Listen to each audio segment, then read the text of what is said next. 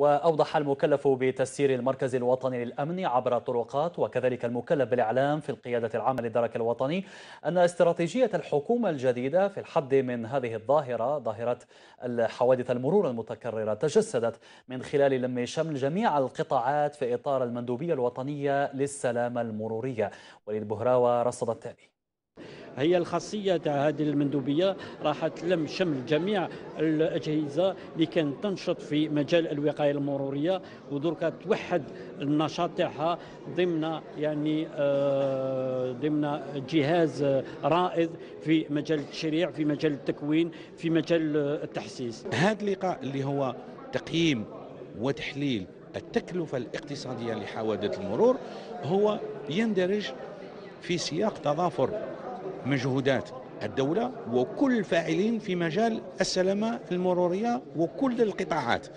إذا هنا نقوم بتحليل وتقييم حوادث المرور من الناحية الأمنية من الناحية الاقتصادية من الناحية الاجتماعية وحتى من الناحية الصحية.